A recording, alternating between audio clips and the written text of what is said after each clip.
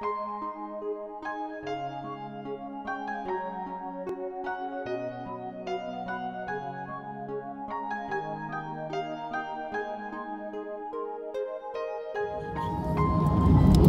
dirigimos al aeropuerto de Narita, la primera terminal de salidas internacionales. Se acerca un camión, Isuzu, Isuzu.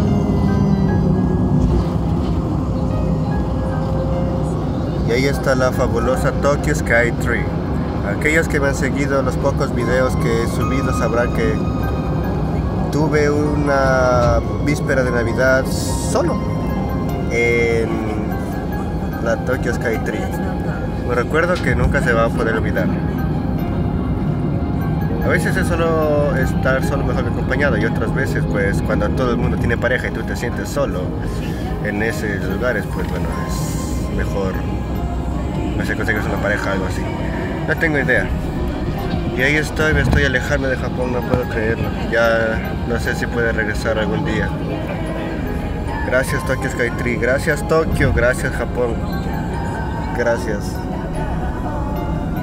Te agradezco de corazón y te llevo, te llevo también en el corazón, en mi mente, en mi cuerpo, en mi alma. Nunca te voy a olvidar.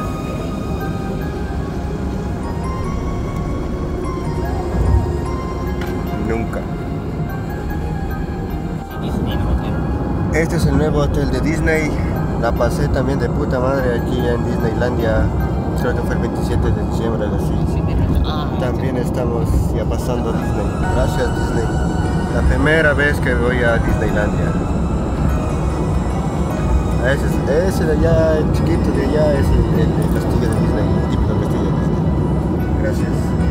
tabs from luggage and place these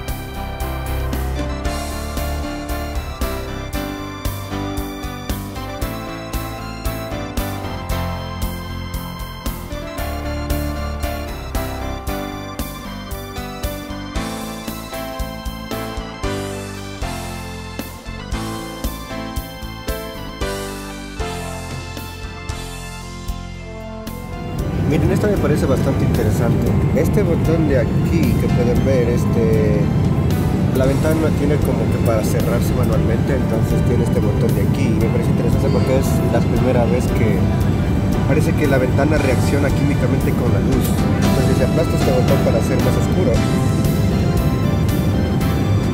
No sé si se ve en el video, pero la luz reacciona con la ventana y se hace oscuro. No sé si podemos mostrarles mejor esto. Y si es que vuelvo a aplastar el botón blanco, la ventana se abre.